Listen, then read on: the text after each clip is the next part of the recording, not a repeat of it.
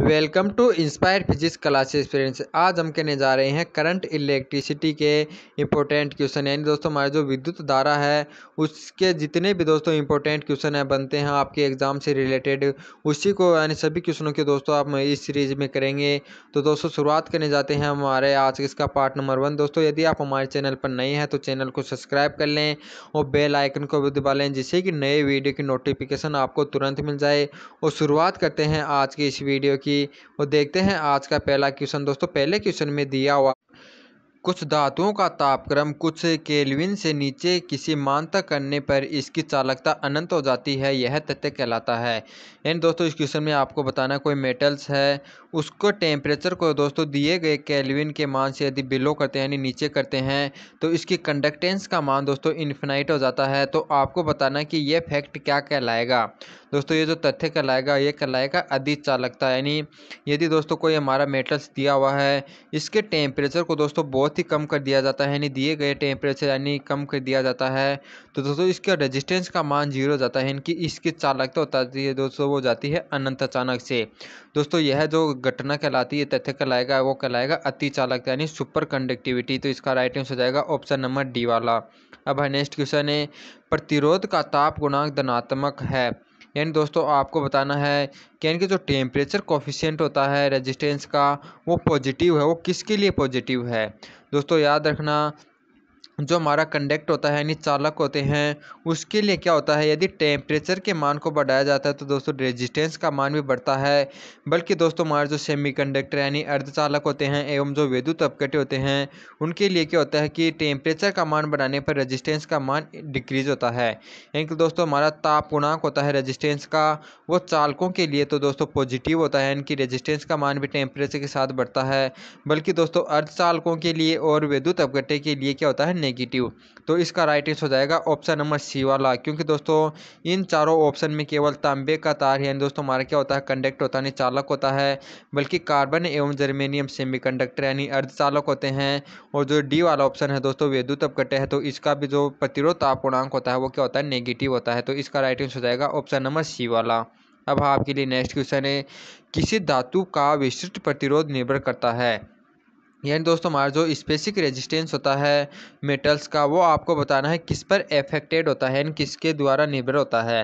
दोस्तों, याद रखना जो स्पेसिक हीट होती, यानी स्पेसिक रेजिस्टेंस या प्रतिरोधकता होती है रो वो केवल दोस्तों हमारे जो मेटल्स होती है, उसकी नेचर यानी धातु की प्रकृति पर डिपेंड करता है। और दोस्तों, साथ ही साथ यह टेम्परेचर पर डिपेंड करता है, क्योंकि हम जानते हैं कि रो टी यानी टी टेम्परेचर पर जो प्रतिरोधकता होती है, वो ज़ीरो टेम्परेचर की प्रतिरोधकता के वन प्लस एल्फा टी के यानी गुणन के बराबर होती है। दोस्तों, ये जो यहाँ पर एल्फा होता है, ये हमारा प्रतिरोधकता ताप गुणांक होता है, और टी होता है टेम्परेचर।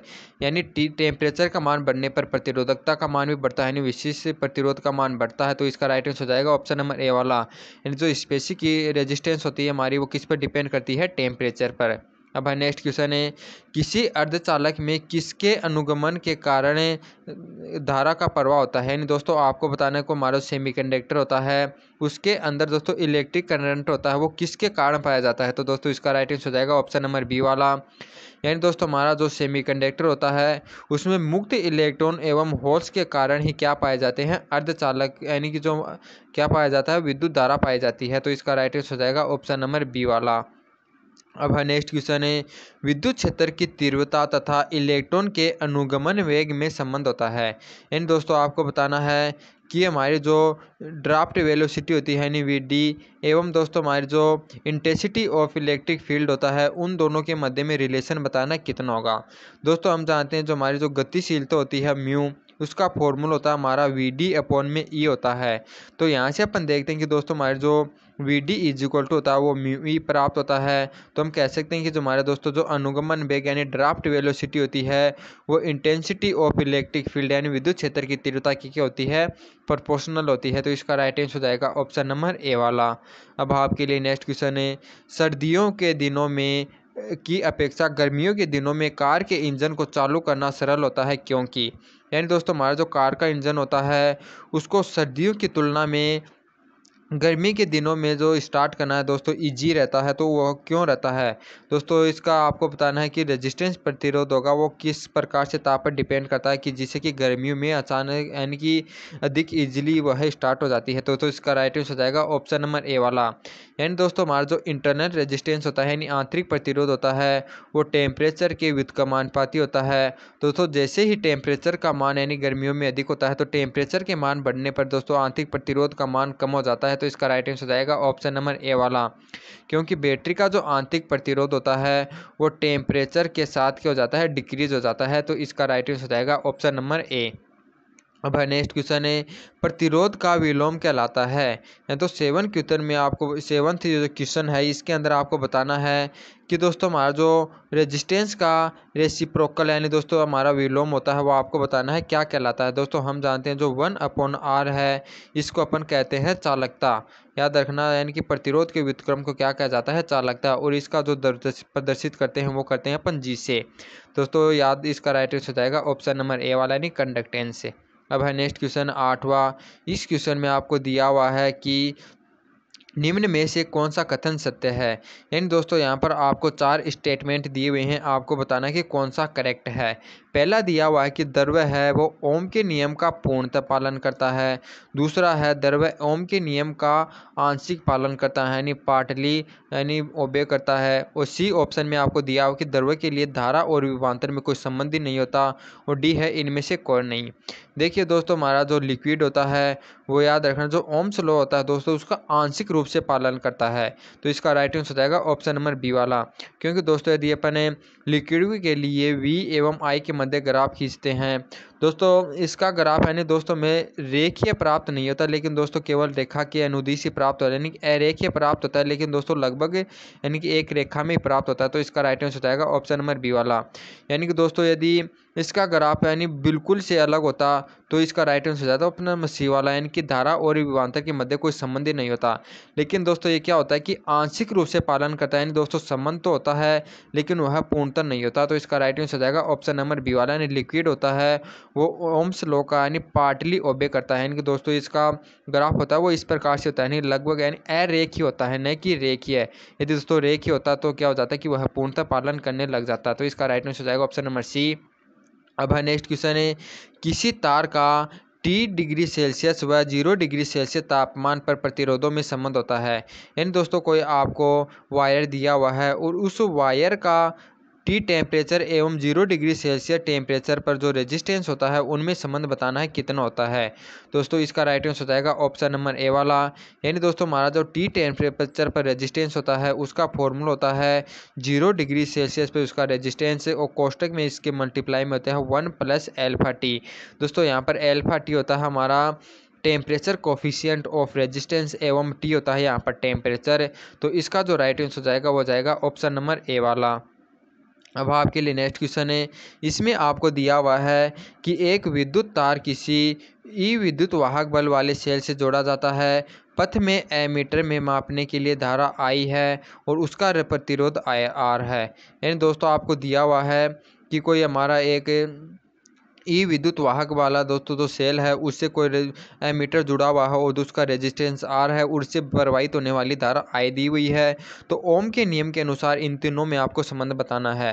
दोस्तों, हम जानते हैं ओम का नियम हमें क्या कहता है कि जो विद्युत वाहक बल या जो वोल्टता होती है, वो समानुपाती होती है, उसमें यानी रेजिस्टेंस में प्रवाहित होने वाली धारा के। और दोस्तों, यदि इसको समानुपाती इस चिन्ह को उठाया जाता है तो ई इक्वल टू हो जाता है हमारा ये समानुपाती स्थिरांक लगाया जाता है आर ई होता है हमारा रेजिस्टेंस तो इस प्रकार से दोस्तों हमारा जो ई इक्वल टू प्राप्त होता है वो हमें प्राप्त होता है आई आर ओम के नियम के अनुसार तो इसका राइट आंसर हो जाएगा ऑप्शन नंबर बी वाला। यानी दोस्तों ओम स्लो के अनुसार जो ई आई व आर में संबंध होता है वो होता है E is to I R अब नेक्स्ट क्वेश्चन है, विद्युत क्षेत्र की तीव्रता ई धारा घनत्व जे तथा विशिष्ट प्रतिरोध के के मध्य परस्पर संबंध होता है। यानी दोस्तों, आपको बताना है कि हमारी जो इलेक्ट्रिक इंटेंसिटी ई एवं जो इलेक्ट्रिक करंट डेंसिटी जे एवं जो स्पेसिक रेजिस्टेंस के अंदर जो रिलेशन होता है, वो क्या होता है? दोस्तों, याद रखना जो हमारा स्पेसिक यानी रेजिस्टेंस होता है के इसका फॉर्मूला होता है जे अपॉन में ई दोस्तों, इसके आप, इसके द्वारा अपन प्राप्त कर सकते हैं कि जो ई इज़ इक्वल टू प्राप्त होता है में, वो प्राप्त हो जाएगा जे अपॉन में के तो इसका राइट आंसर हो जाएगा ऑप्शन नंबर ए वाला। दोस्तों रेजिस्टेंस यानी दोस्तों, हमारा जो स्पेसिक रेजिस्टेंस करंट डेंसिटी एवं जो इलेक्ट्रिक इंटेंसिटी के अंदर जो राइट रिलेशन होता है, वो होता है ऑप्शन नंबर ए वाला। यानी ई इज़ इक्वल टू होता है जे अपॉन में के अब आपके लिए नेक्स्ट क्वेश्चन है, किसी धातु के टुकड़े पर विद्युत विभांतर आरोपित नहीं किया जाता है तो मुक्त इलेक्ट्रॉनों का माध्यम वेग होगा।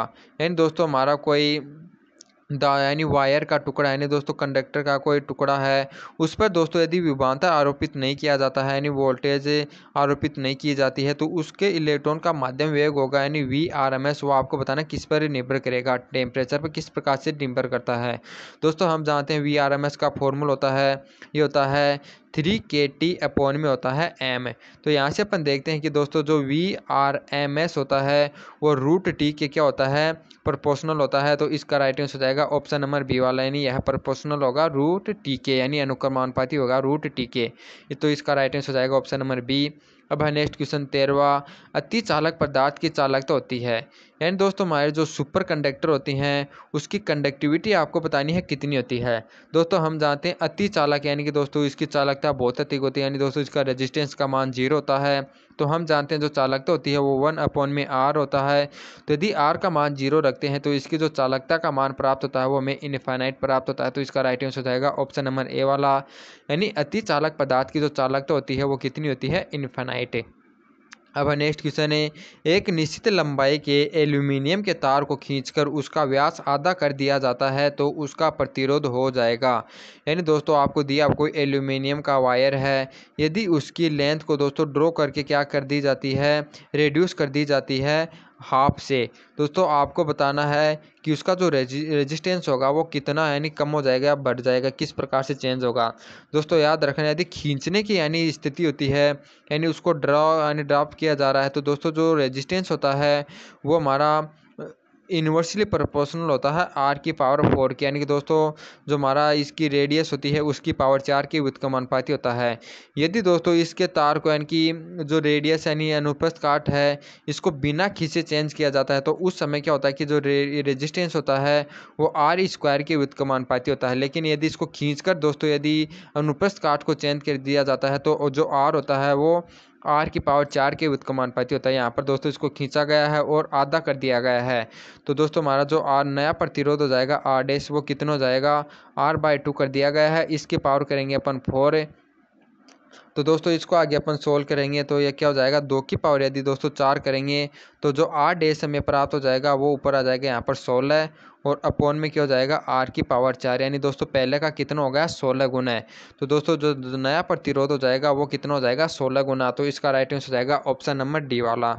अब है नेक्स्ट क्वेश्चन है, धातु का ताप धातु का ताप बढ़ाने से प्रतिरोधकता बढ़ जाती है क्योंकि, यानी दोस्तों हमारे जो कोई कंडक्टर है, उसका यदि टेम्परेचर बढ़ा दिया जाता है इंक्रीज कर दिया जाता है तो उसकी जो रेजिस्टेंस है दोस्तों, वो भी इंक्रीज हो जाता है। वो किस कारण होती है? तो दोस्तों आपको ऑप्शन दिए हुए हैं तो इसका राइट आंसर हो जाएगा ऑप्शन नंबर ए वाला, यानी श्रांति काल कम हो जाता है। दोस्तों क्योंकि हम जानते हैं जो वी आर एम एस होता है, मुक्त इलेक्ट्रॉनों का, वो रूट डी के क्या होता है? समानुपाती होता है। तो जैसे ही टेम्परेचर को बढ़ाया जाता है तो दोस्तों वी आर एम एस का मान बढ़ जाता है।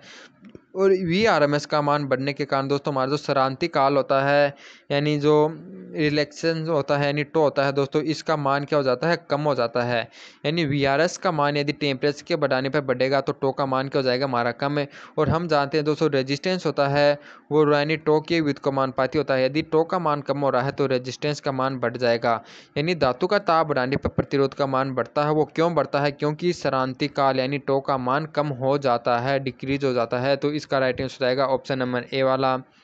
अब आपके लिए नेक्स्ट क्वेश्चन सोलह का, एन ओमीय प्रतिरोध का उदाहरण है। दोस्तों, यहाँ पर आपको चार एग्ज़ाम्पल दिए हुए हैं तो आपको बताना है कि कौन सा example non ohmic non ohm resistance है, यानी दोस्तों अनोमीय पदार्थ है।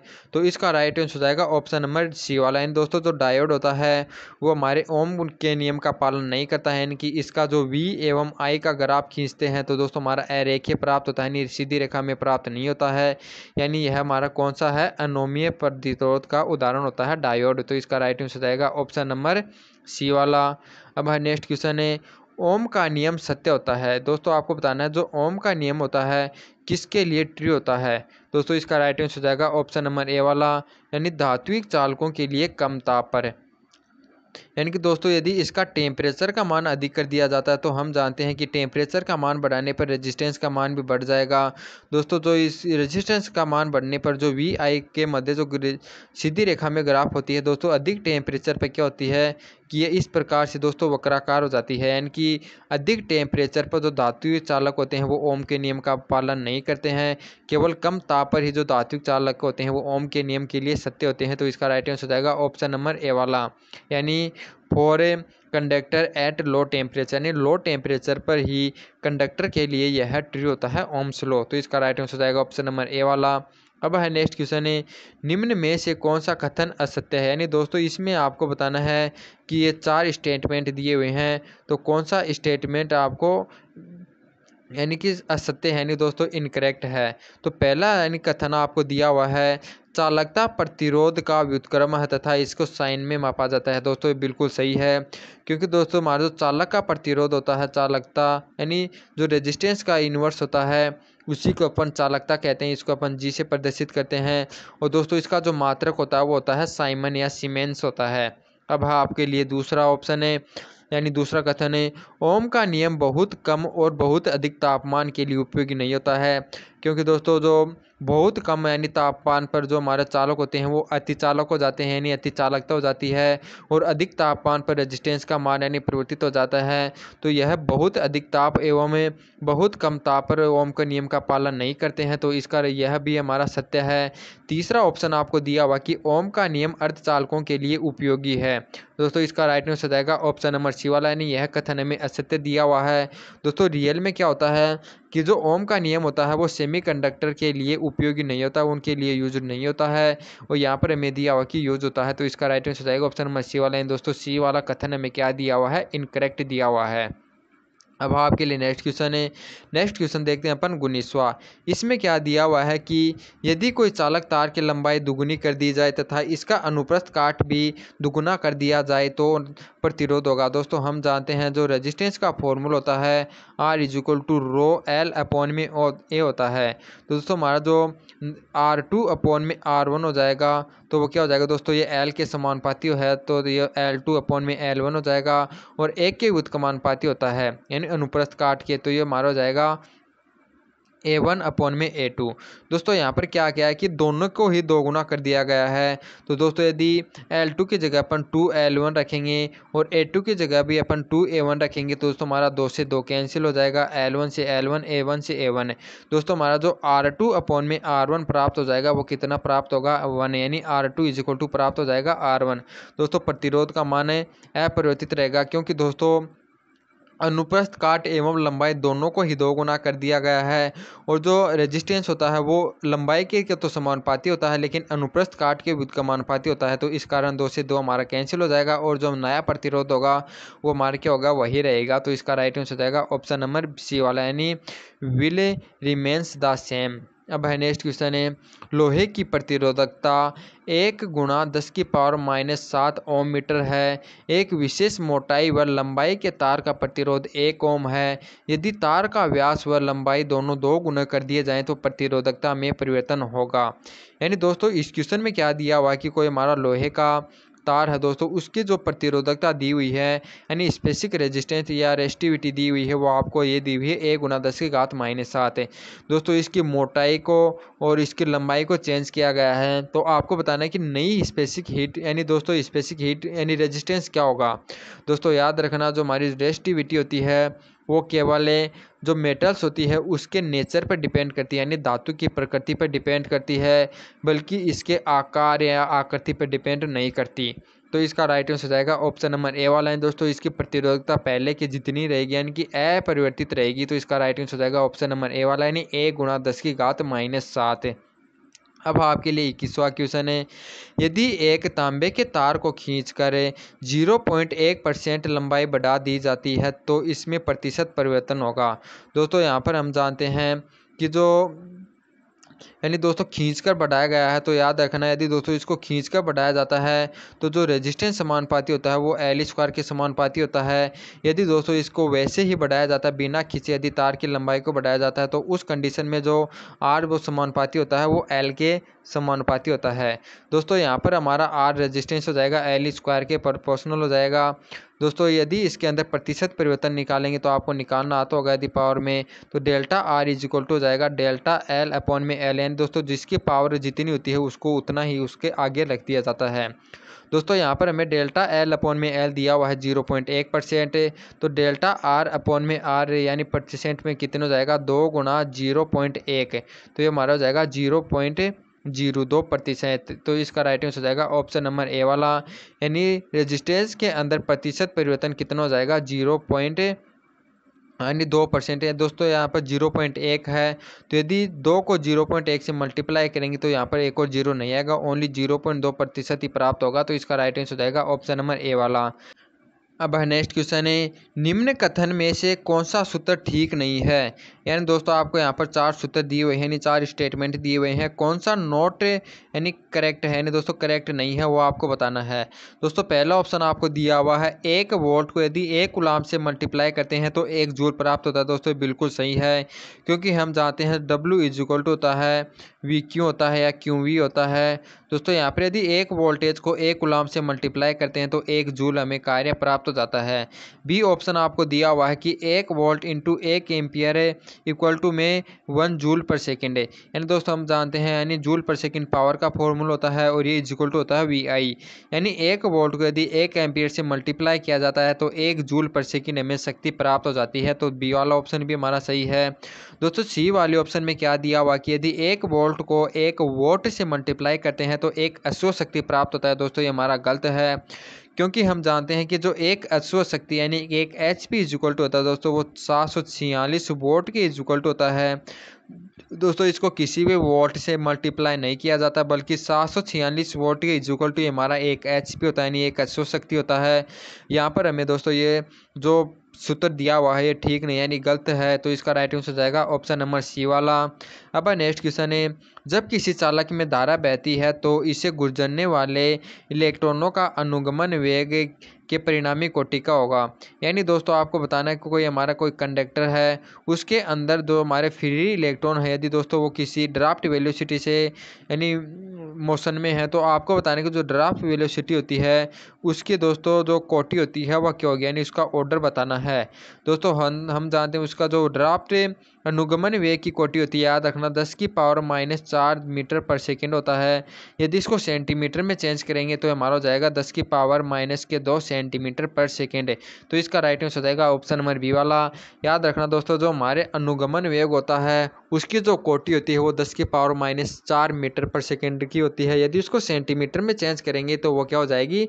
दस की पावर माइनस दो सेंटीमीटर पर सेकेंड। तो इसका राइट आंसर हो जाएगा ऑप्शन नंबर बी अब आपके लिए नेक्स्ट क्वेश्चन चौबीसवा यदि एन ई टो और एम क्रम से इलेक्ट्रॉन के घनत्व, आवेश क्रांतिकाल द्रव्यमान को प्रदर्शित करते हैं तो तार का प्रतिरोध जिसकी लंबाई एल और क्षेत्रफल एल ए है ए होगा।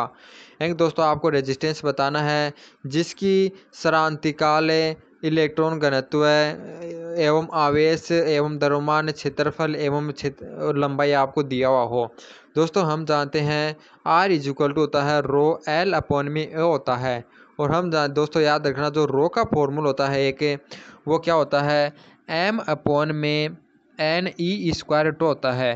दोस्तों, यहाँ से यदि अपन रेजिस्टेंस का फॉर्मूला निकालेंगे तो रो का मान लिख देंगे अपन M N E square into tau और इसको एल अपॉन ए से मल्टीप्लाई करते हैं दोस्तों, हमारे रेजिस्टेंस का फॉर्मूला निकल कर आ जाएगा।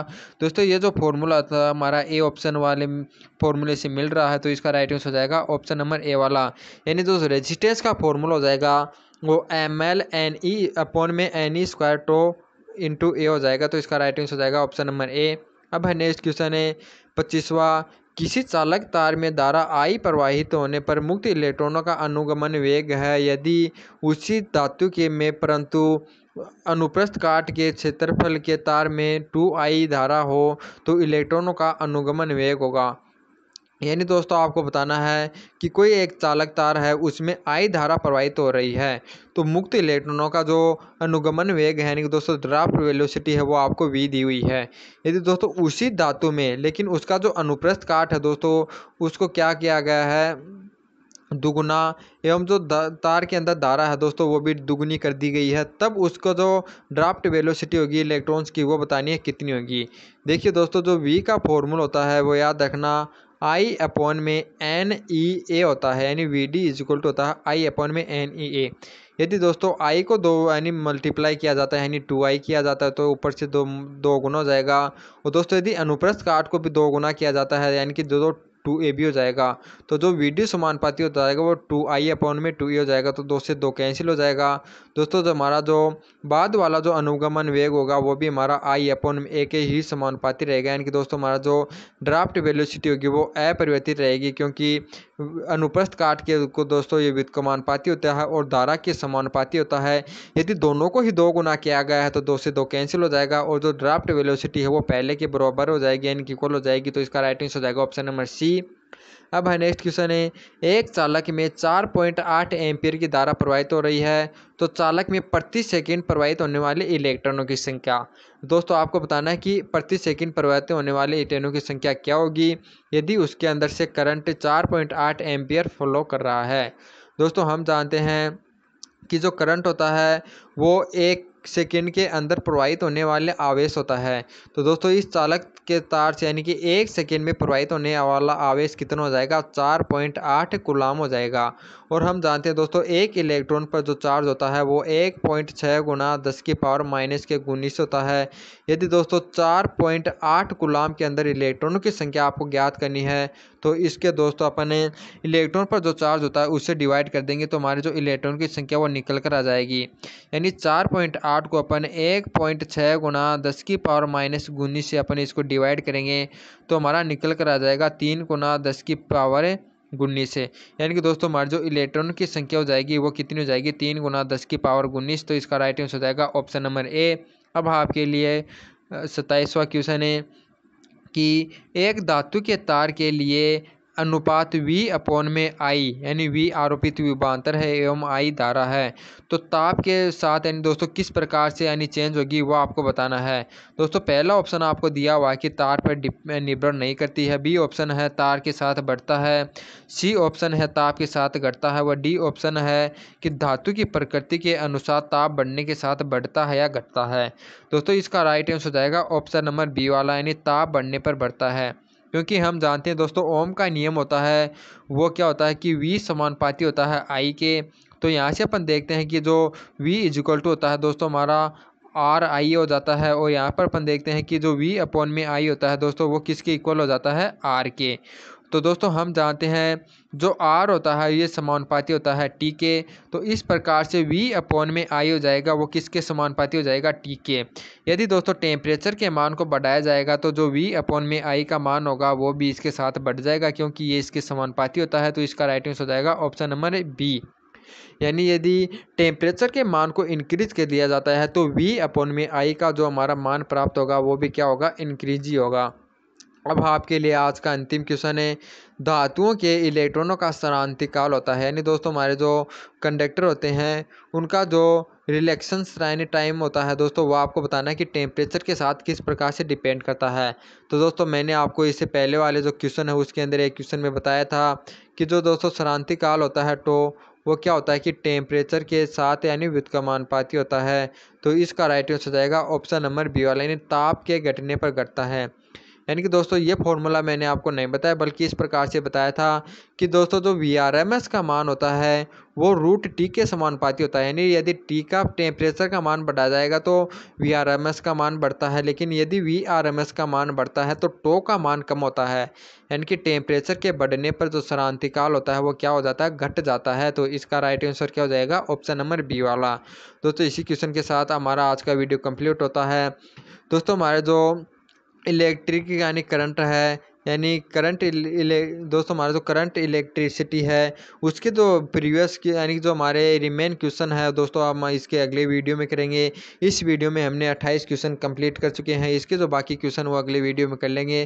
दोस्तों आज के जो सभी क्वेश्चन है वो आपको कैसे लगे, दोस्तों कमेंट करके ज़रूर बताइएगा। दोस्तों हमारा जो कल आएगा वो हमारा मॉक टेस्ट द्वितीय होगा और उसके बाद में इसका पार्ट टू आ जाएगा तो जय हिंद दोस्तों।